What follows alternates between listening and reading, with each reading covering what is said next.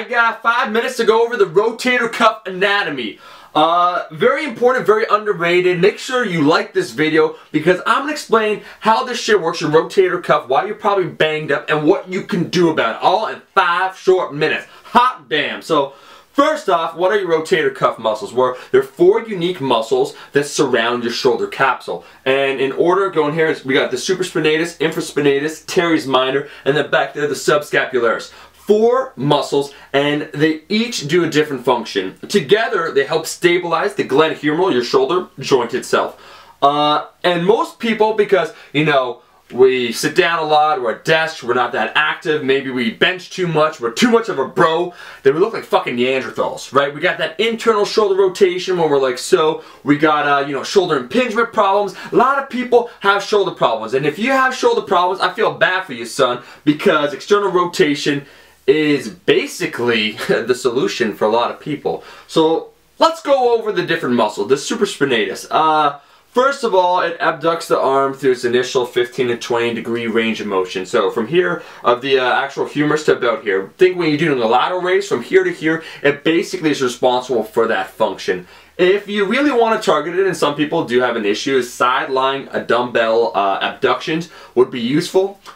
I'm going to steamroll this though because I really want to talk about your infraspinatus and your teres minor, the ones that are responsible for external rotation. You heard me say people have too much of an internal rotation. They're rotated in like so. Most people don't do enough external rotation.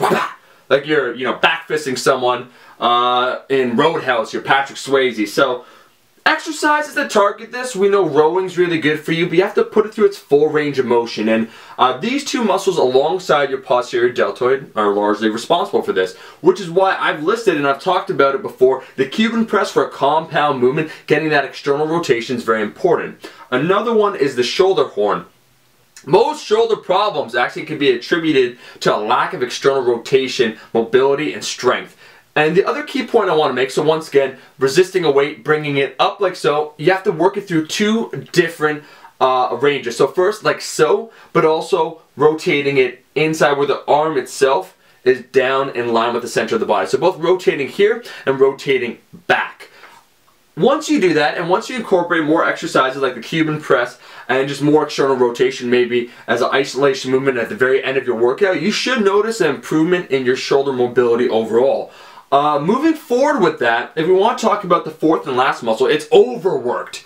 Uh, this is a muscle group that you shouldn't really be concerned about, the subscapularis. Uh, internal rotation of the humerus, right? So the opposite. So if you have a cable, you see some guys uh, uh, doing cables and they'll rotate it, you know, They'll be resisting pulling it in that way uh, with the cable. That's targeting it right there. But most people have too many adhesions already on the subscapularis. It's overworked, as I said before. The two primary things you should know is that these two muscles are important and you got to do both external rotation like so, so rotating back, and then inside, so you're rotating back like so both ranges of motion. Happy shoulders equal a strong bench. This is a short, concise summary of the rotator cuff. I could go on and on, but this is the nitty gritty right here. The real meat that you need to know. So the next time someone talks about the rotator cuff muscle and says it's very important, you can say, bro, it's actually four muscles and they each do a different function. Here, check out this video. Uh, Chef Buff Army, that's it. That's the video. Thank you, as always, for watching my video. If you like the video, make sure to like the video. And if you're not a subscriber, fuck you waiting for? Zealous Army, I will be seeing you guys in the next video. Peace.